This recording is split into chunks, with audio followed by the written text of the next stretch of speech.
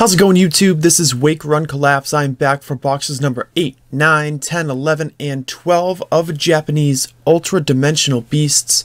We're going to close out our double case opening of Sun and Moon 4 and hopefully get some great cards. As per the usual, make sure you hit the like button down below if you're looking forward to what you may see in this opening. If you're new to the channel, I do big openings like this all the time with every new set. We open a full case of each new set. That's 12 boxes for the Sun and Moon era. Uh, but I was doing 20 smaller boxes with the X and Y series as well. So there is tons, and I mean tons of content that I've done over the years. And I hope that you can find something back there that you can enjoy and perhaps subscribe for future openings as well. Just like we did in the last video, yes, because yesterday I did 150 packs of Awakened Heroes and got some great pulls there too. We're going to be opening the packs two at a time, and I'll only be sleeving full arts because this is in the name of respecting your time. Now, I could go absolutely mental through these, but I feel like it's better to, you know, not destroy some of the cards that we're doing. Uh, so this video will likely clock in around, I'd say 50 or 52 minutes, something like that in the first pack won't even open. Great start, Self. So in our first double pack, we're going to pull a Regice Holo. Now I have uh, I have opened seven boxes of this particular expansion that will become Crimson Invasion in November uh, on the channel already. Uh, so if you're looking for a slower opening, if you want a spoiler-free experience, start at the beginning and work your way up and you'll see how I do in terms of progress for the entirety of the set. And there's a Hydreigon Holo right there.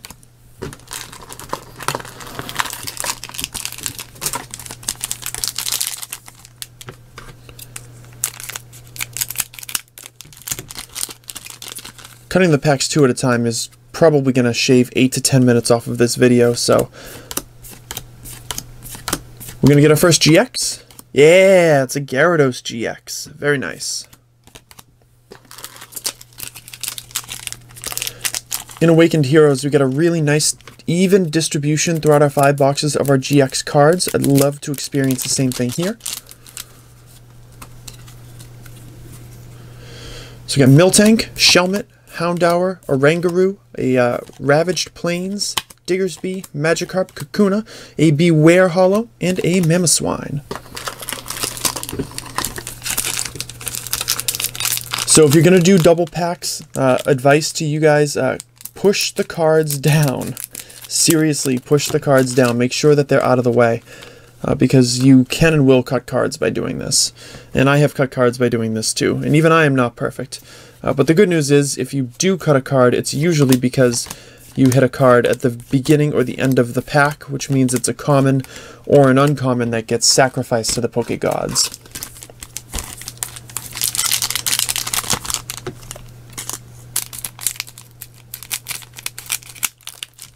Scissors are having a tough time. They've been, they've gone through a lot of work over the past few years. Still the same set of scissors too. I haven't replaced them. Uh, nothing in those two packs. Uh, to kind of catch you guys up to speed, I've yet to pull a duplicate from Ultra Dimensional Beasts. Uh, so we're looking for uh, one super rare, two hyper rares, two ultra rares. There's a Xerneas Holo, pretty cool. If I had to guess, I'm going to say that I'm done with hyper rares uh, for this particular expansion. I think I've pulled all the hyper rares I'm going to be getting because I've gotten two already in Gyarados and Alolan Exeggutor. So I think that's probably going to be tapped out for that.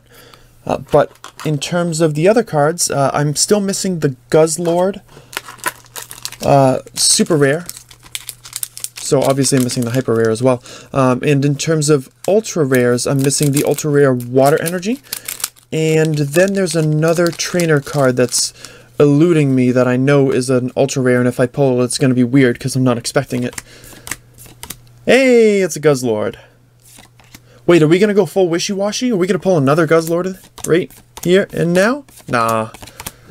I haven't even seen that yet, so I didn't think it was going to happen. Be funny if it did, though.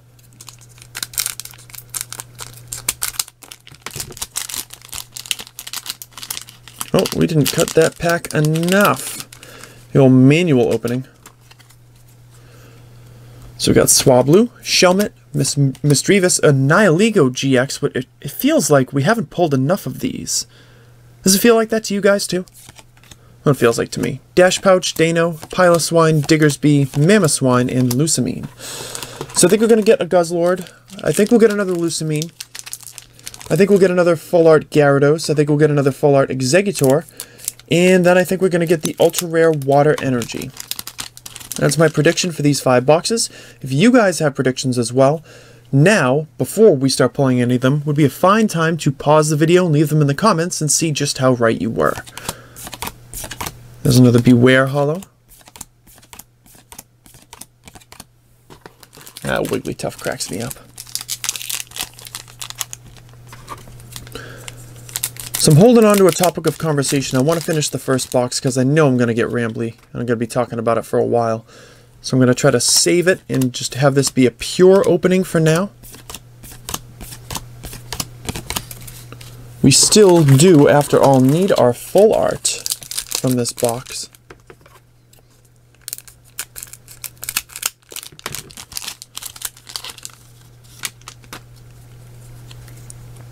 So we got Kakuna, uh, Jangmo-O, Piloswine, Regirock, Sea of Decay, Stufful, Diggersby, Houndour, Milotic Holo, and an Oranguru.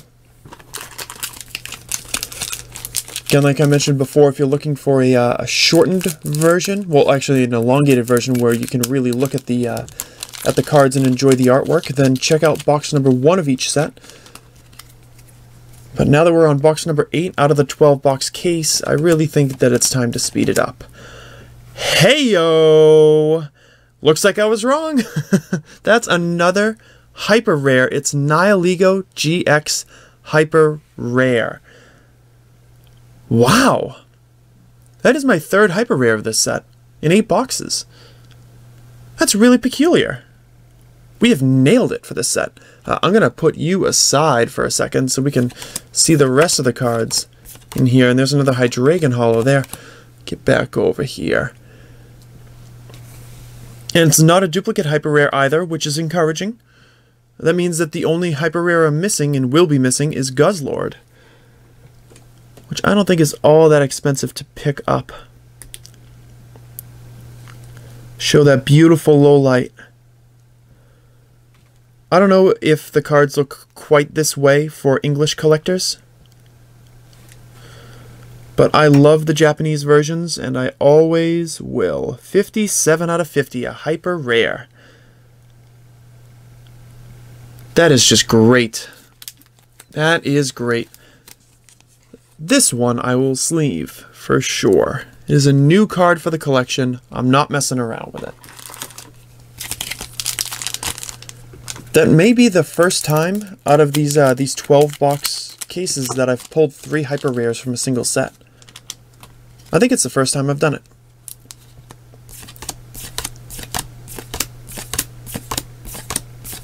There's a Regice. It would be absolutely wild if by some weird fluke I was able to pull the Guzzlord 2 and we completed the Hyper Rares. Uh, that would be amazing, and I would happily forego uh, pulling another Ultra Rare and having to buy the other two in order to, uh, to make that little moment happen. Last two packs of box number one are going to give off a Kommo-o Holo. Very cool. Alright,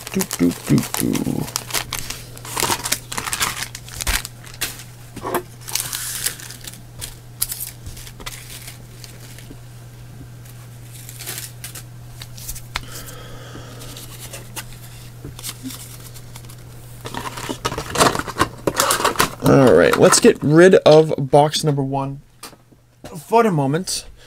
There's a crack into box number two. The topic of conversation that was swimming around in my brain right before I sat down to film this. So there's been much ado about the NES Classic and much more recently the SNES Classic uh, that has uh, been hitting the market as of late. Uh, what did this come out last week or something like that? Uh, I just seen an ad on Facebook. Yes, I um, I occasionally do click an ad on Facebook, um, probably just out of habit because it's like, oh, uh, it says like the 21 games for the SNES Classic ranked. And I was kind of going through them because I have no idea what's on the SNES Classic. I can tell you that I played them as a kid. Um, because I possessed one, because I'm old. Um, but I had no idea what games are on there. There's a Hydreigon Holo. Good start to the first box.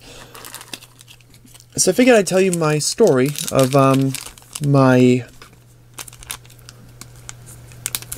my getting enamored with some of these older games.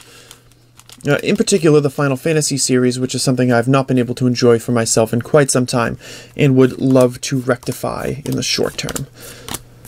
Uh, so, when I was younger, um, I didn't play much in the way of, like, I guess you'd call them serious games.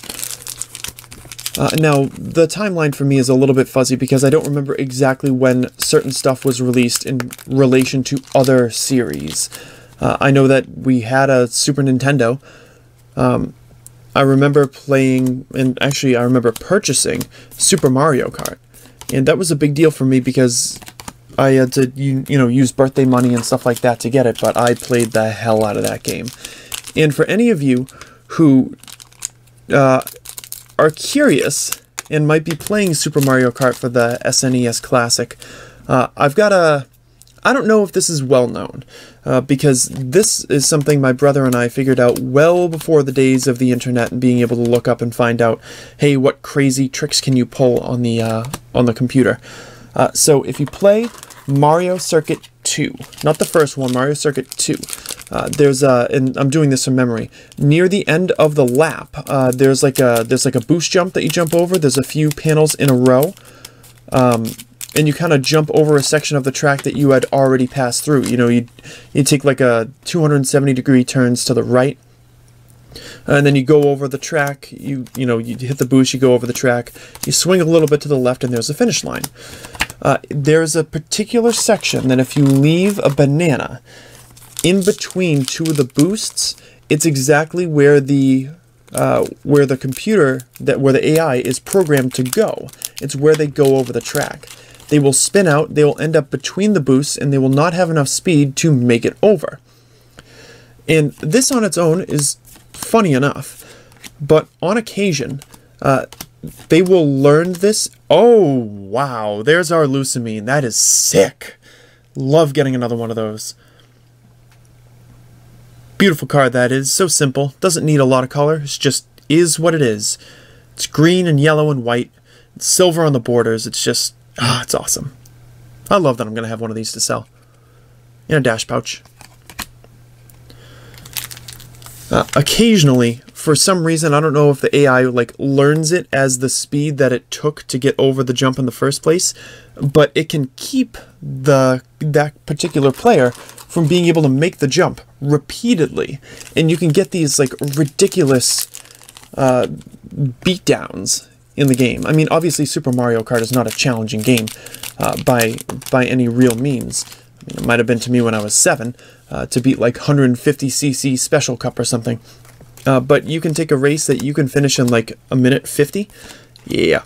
Um, and you can get the AI to finish in four minutes or seven minutes or not at all. You can get these like really weird things to happen. And I hope that that's still the case in the SNES Classic because that was like my favorite part of playing. That and mushrooming over Ghost Valley 3 and hitting that weird little ledge on the side. But anyways, that that is to say that I was not a serious gamer at that age, and by no respect should I have been. Uh, I would play, you know, Mario games. I would play. What would I play? We had NBA Live 95. I remember that. I remember uh, revoking the out of bounds rule and going behind the backboard and shooting it over and over again up against the backboard uh, so that I could have a player collect a ridiculous amount of rebounds just for fun. Uh, we had Quarterback Club 96, and then I started seeing ads. And by ads, I mean I didn't have the internet yet. I didn't have a computer yet in the house. Um, this is 1997. Uh, I started seeing ads for a game called Final Fantasy VII. And this is where things get weird.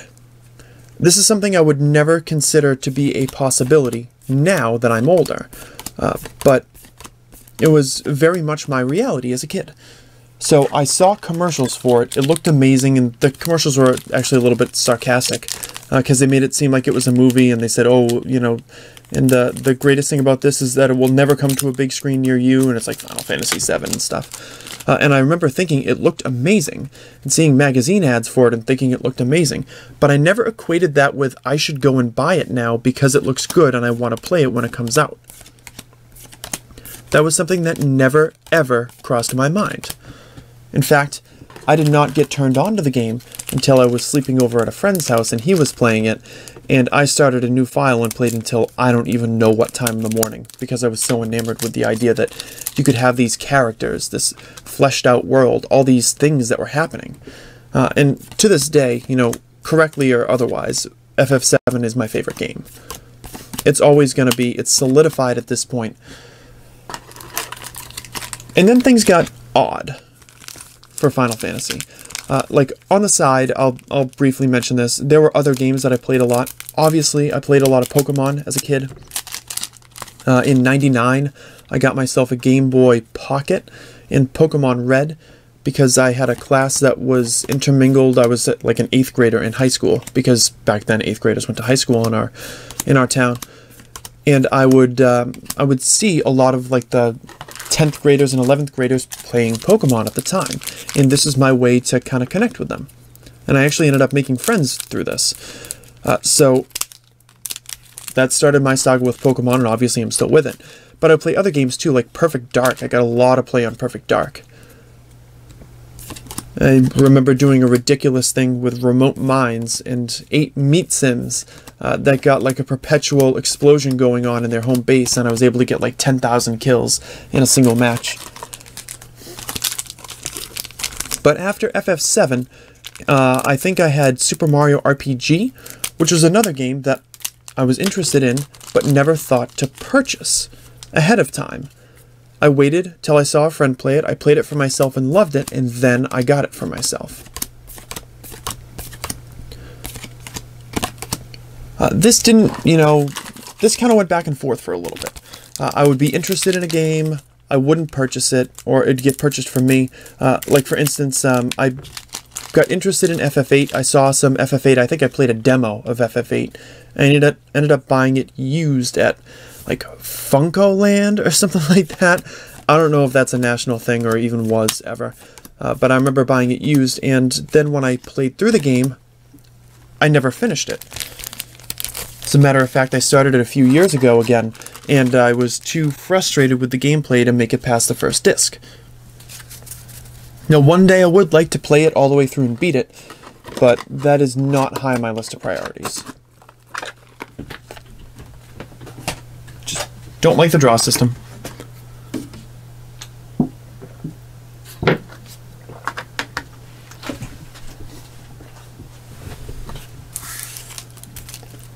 Found some of the characters anime level annoying too, but that's that's another thing. Uh, and then I had uh, I had FF9 purchased for me for my birth, not for my birthday, for Christmas. Uh, my parents got me FF9 for Christmas uh, because they knew how much time I played uh, with FF7 and they wanted me to give 9 a shot. And again, it was something I'd just not considered purchasing for myself.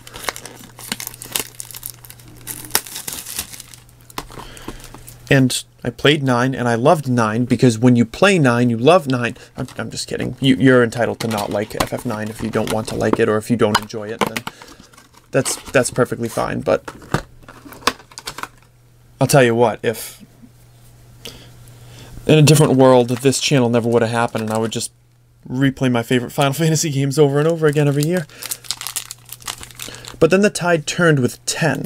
Uh, 10 I, again, never considered really buying, but I had a friend who had like a bunch of GameStop credit, and I was hanging out with him one day, and he's like, so I bought FF10 because my credit was going to expire at the end of the year or something like that, so I purchased it. By the way, we're on the third box. Um, so I purchased it, but I don't have any real interest in it. I was like, dude, I'll buy it off of you. And then I bought it off of my friend, and from then on, I learned the the virtue of you know learning about games, seeking out games, because we had the internet. I was able to research stuff like that. And I started to get, you know, hyped for games. Uh, I bought 10-2 when it came out. Um, FF12, I remember having been, you know, somewhat interested in, but not so much. Oh, do we have a card that's stuck in there?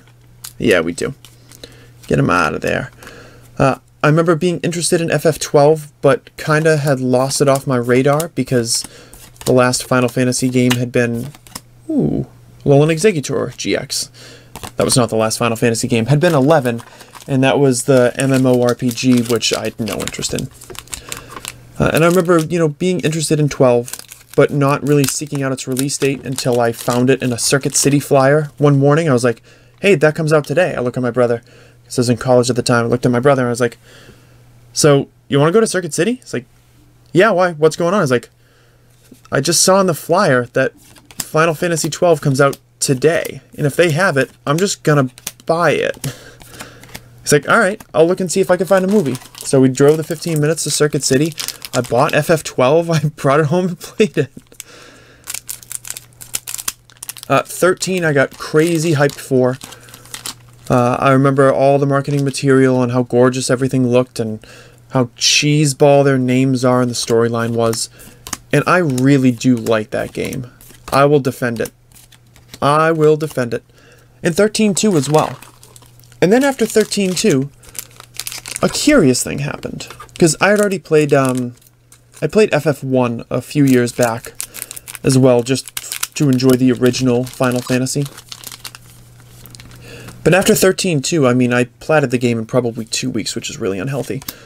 Uh, but I, I desired something else. I think we're about to get a good card. Uh, I desired something else, so I decided to go back, and here's where the story goes full circle. I decided to go back and play FF6. Now, Final Fantasy VI annoys me because of how good it is. I have this these set preconceived notions of what my favorite Final Fantasy game is, and that will never change. But to see so many of the building blocks for the rest of the series appear here, but for it still to have this incredible story all on its own, there's an Nihilego. That's cool. Uh, really busted up some of my notions of uh, of what would happen. Two out of three predictions so far, not bad.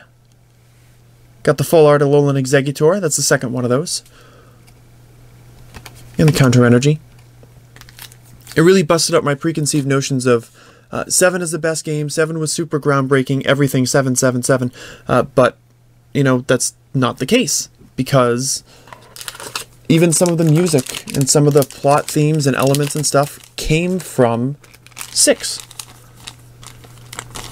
Now, I have more respect for 6 as a game and as an achievement of video game storytelling than anything else. And I would still much rather play 7 if given the option, because I found that more playable for me, and I enjoyed the experience more. It's more nostalgic for me. It goes back 20 years now. In fact, I think we just hit the 20th anniversary of its release in North America. Is that September 1997? Like early in the month, like the 7th or the 9th or something?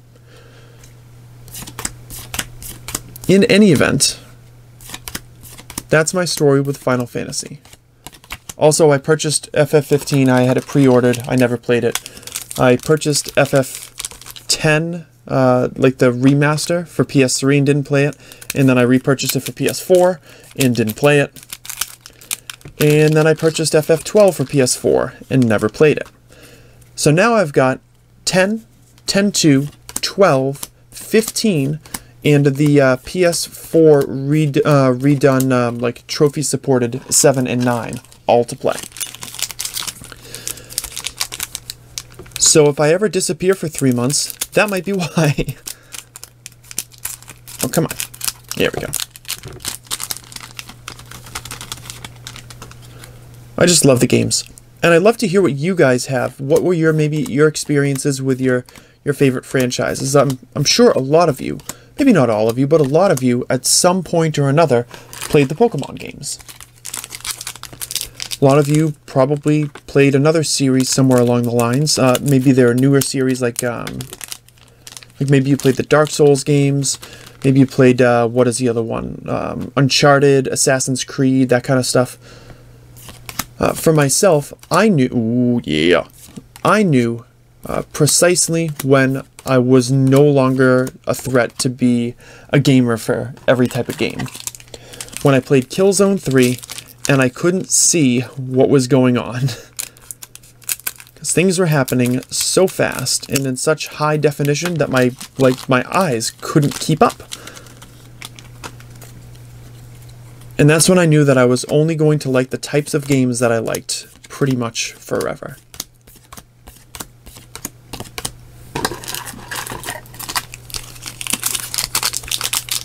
I mean, Pokemon I've gone back and forth on a lot. I played Red a ton.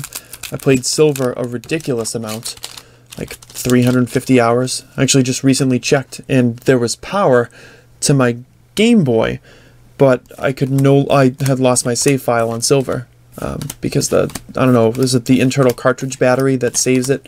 Uh, like craps its pants or something. Uh, didn't play third gen. Uh, played Pokemon Pearl.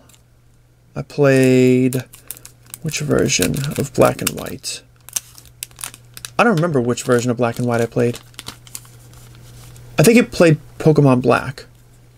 And then I played X.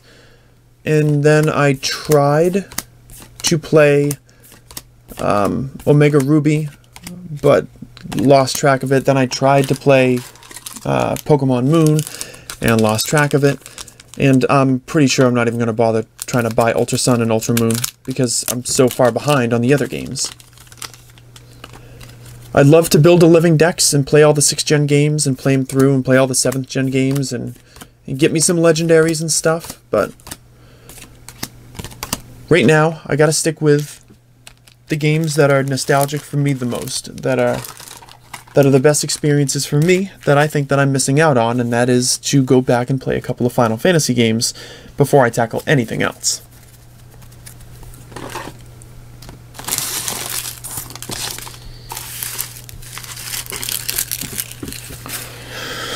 Wow, guys, and just like that, we're three boxes down.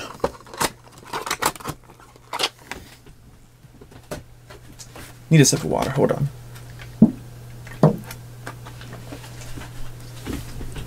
Just like that, three boxes down. All right. Just gotta stretch the body. All right, let's dig in. Box number 11 of the case, box number 4 of the video, packs numbered 91 through 120. If I can even get into this. Why, why you no cut? What what what is what is going on? I'm slicing the box, but not the plastic wrap around it. There we go. Look at that. That thing is chewed up.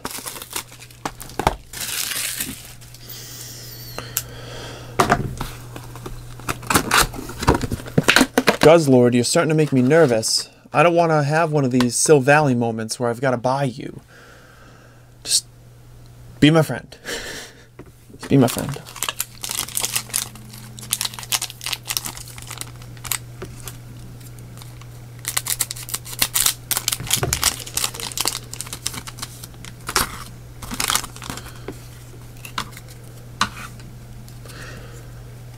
So moving on, you know what? I can move those back there, I think, now. Uh, we got Stufful, Kakuna, Bunnelby, Sea of Decay, Primeape, a Piloswine, Jangmo-O, Weedle, Hydreigon Holo, and a Wigglytuff.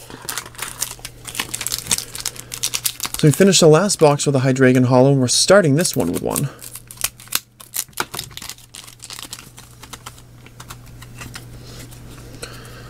Now we've got Houndour, Selgor, Misdreavus, Houndoom, Mamoswine, Dano, Shelmet, Miltank, Nihilego GX, and a Ravaged Plains.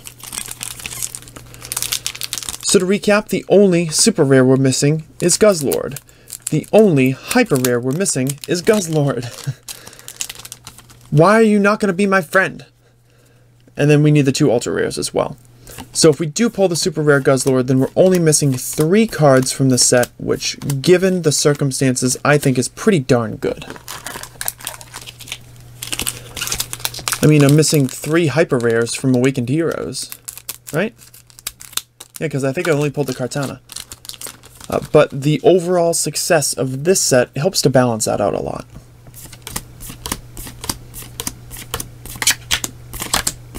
There's a Xerneas Holo. Uh, also benefiting me is the fact that I've pulled a lot of the um, pricier cards too. Like, if I were missing a Lusamine at this point and had two Guzzlords, like, I'd be stoked because I'd have two Guzzlords, but I'd be scared because of the financial burden of having to purchase a Lusamine. Didn't get anything right. Yeah, it was just a piece of pack, I was pretty sure. Uh, and I've also been pretty fortunate with the uh, with the ultra rares of the golden cards. We are about to pull an Alolan Exeggutor GX in the next pack. Not in what I have here, the next pack. So, like, the fourth card is going to be a Alolan Exeggutor GX. You ready? Misdreavus, Dano. Ah, I tried. It's worth a shot. Oh, it's a Gyarados full art. Uh, so, three out of five now my predictions. I said Gyarados, Lusamine, Exeggutor, uh, Guzzlord, and then I had said the Ultra Rare Water Energy. So, predictions are going pretty well so far. Unfortunately, now I only have one more shot to pull a big Guzzlord. My big boy. Ah, I really hope I do it. I'll be bummed if I don't. I'll be bummed if I don't. If I don't pull a new card of some kind, I'll be bummed. So, we've got our full art Gyarados. So, at least the polls have exhibited a lot more variety uh, this time around uh, versus what we experienced uh, yesterday. We pulled two copies of two different full arts and then we had an ultra rare, which was not the best way to finish things out. So getting this variety is pretty pretty solid. Even the hyper rare I didn't pull in a super rare form either, so. I got Miltank, Magikarp, Houndour, Kommo-o, Beedrill, Feebas, Swablu, Pikachu, Lusamine, and Zweilous. Actually, put those down there, and I probably shouldn't have. So now we can just use that as padding. I got antsy and clean the place up. Don't judge me for my cleanliness. Or lack thereof.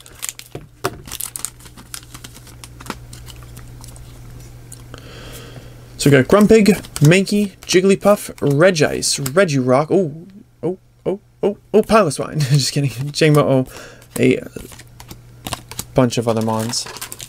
My brain forgot how to brain there for a second.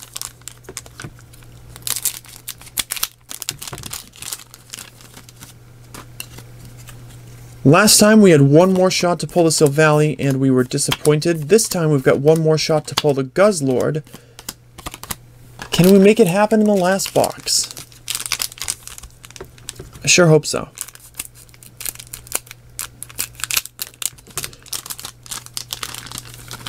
P.S. Not that anyone cares, but I have a really goofy work shift today. Uh, once a month on a Saturday night, I've got to work 2 p.m. to 11 p.m. And that is unfortunately tonight.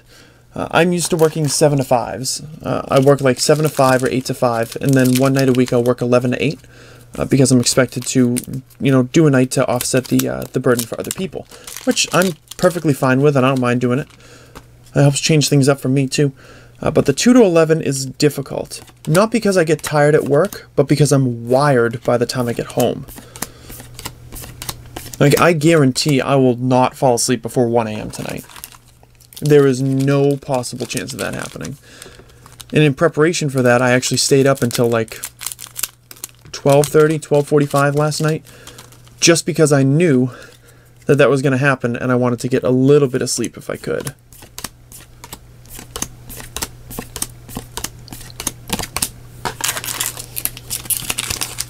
But then next Saturday I got to work at 5 a.m., so least in not back-to-back days. That would hurt. I would. I think I would just sleep there. Change my shirt and just be done with it.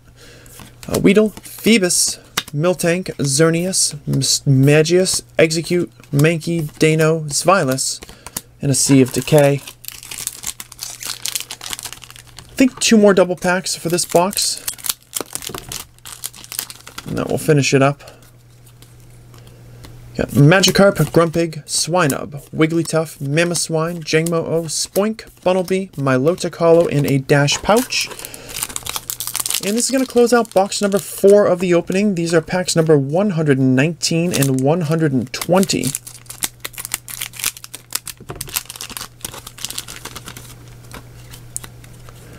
And we've got a Kakuna, Misdreavus, Stufful, uh, Hakamo-O. I always get tripped up on that one. I don't know why.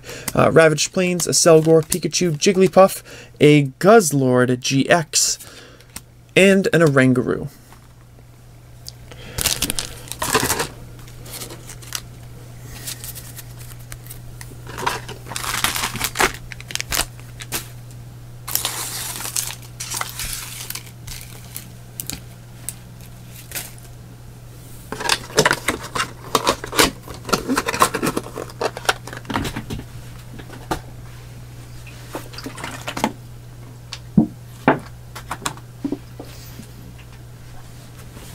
Okay, guys, it all comes down to this.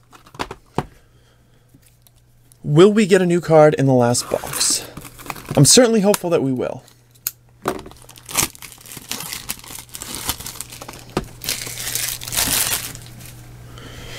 I'm certainly hopeful.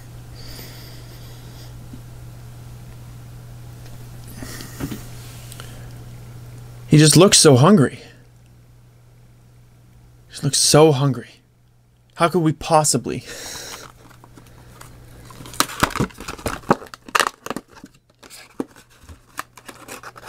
As we dig into our final box of Sun and Moon 4, a set that we are unlikely to revisit for any reason anytime soon, unless we're just, we get some packs bundled in with some stuff. I gotta say, I do like the artwork for Sun and Moon 4. I do enjoy it. I like that they included the Ultra Beast without, you know, completely discounting everything else that could possibly be in this set. A GX in the second pack, how about that? So it's, it's cool that they had Gyarados and Exeggutor and Golem and, uh, in these sets. Uh, and then um, some other interesting choices as well. Uh, I can tell you right now that I'm locked in at least through Ultra Sun and Ultra Moon for Japanese collecting. Hey, we did it! it's my boy in rainbow rare, hyper rare, super shiny, whatever you want to call it. I've got it. Oh, baby. That is something special. And I'll move him over for just a tick. How it is that I pulled all four hyper rares in this case blows my mind. How did that even happen?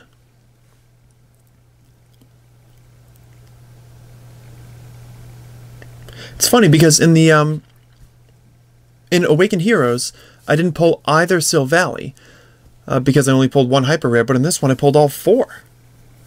What a great case! what a great case! And oh, I'm so stoked to have this card. Means I really don't mind having to buy the super rare version because this one is definitely going to be pricier. So I think I won't struggle quite as much to find it. 58 out of 50 HR. Eating all the colors of the rainbow. An appetite impossible to satisfy. It's your boy Guzzlord.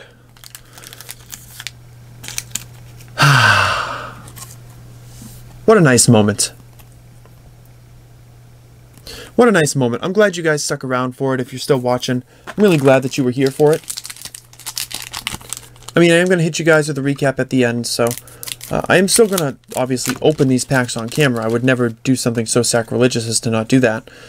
I'm looking at you, everyone who posts to Twitter and says, Why do I ever open packs off camera? Yeah! Why do you ever open packs off camera? That's why I open everything on camera.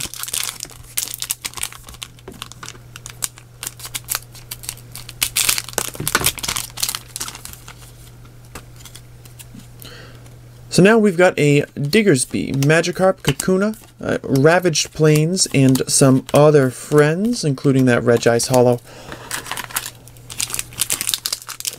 So now it's going to be my responsibility for the rest of the weekend, uh, not only to work, not only to do some other stuff, but I also have to figure out how to put this sale video together.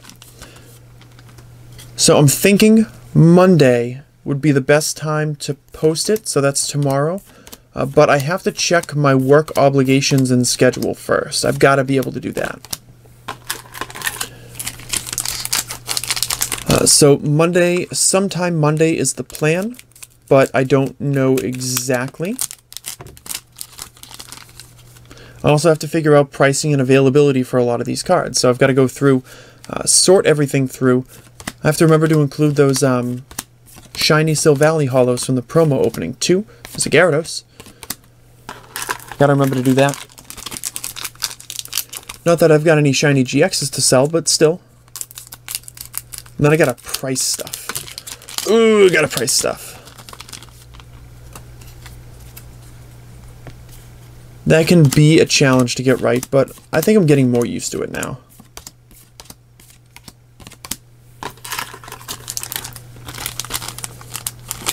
I think I'm getting a better understanding of you know, what people are interested in, what is considered fair market value. Because I've never been one to gouge people. But I also have to consider, you know, I bought all this stuff. I need to make sure, sure we take care of it.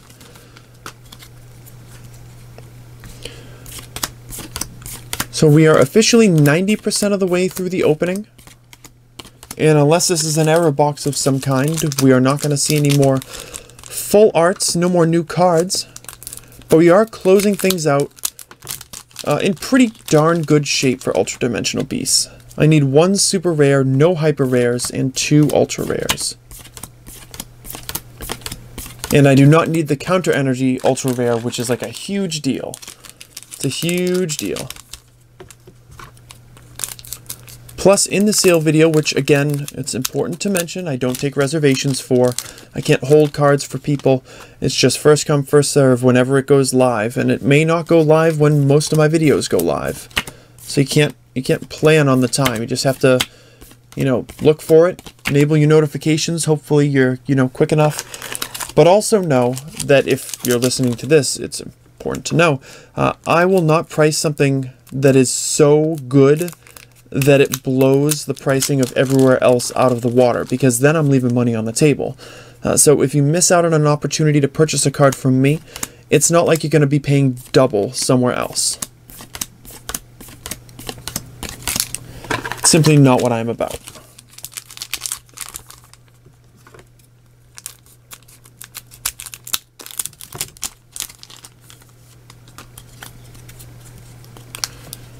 And as we finish out the remainder of the box, get a Nihilego GX, pretty cool. So we finish out the remainder of the box. I gotta say, it has been a nice experience. It's been dire at times to actually film these videos. It's been, uh, it's been tough. I haven't been terribly motivated uh, from time to time to actually sit down and knock these out. Uh, I feel like the games were not of as high quality or creativity as they have been in the past. Uh, but overall, I think the fact that we were able to finish this up in a reasonable time frame makes it successful. Because what is today that you're watching this? October 1st? And then, like, really soon GX Battle Boost comes out? it's about as well as we could have done. And here we have it, folks, our final two packs of Sun and Moon 4 for the double case opening. A total of 718 packs have been opened on the channel so far for Sun and Moon 4, and these are the final two. And we've got a Feebas, Swablu, Piloswine, Counter Energy, Wigglytuff, Houndour, Shelmet, Grumpig, a Primeape, and the final card is an Alolan Raichu Holo. Alright, so you're going to see a quick cut to the video while I um, go through everything, kind of sort it out, see what our overall pull ratios were and end up being. And after the cut, I'll be right back with a recap for you. Alrighty guys, the sorting has been done. As we did before, we're going to rifle through the holographic cards really quickly without showing them being sorted, as they have not been. Uh, but we did get a total of 55 holographic cards from this particular opening. I think we got 54 in, in Awakened Heroes because we did pull one additional GX out of one of those boxes.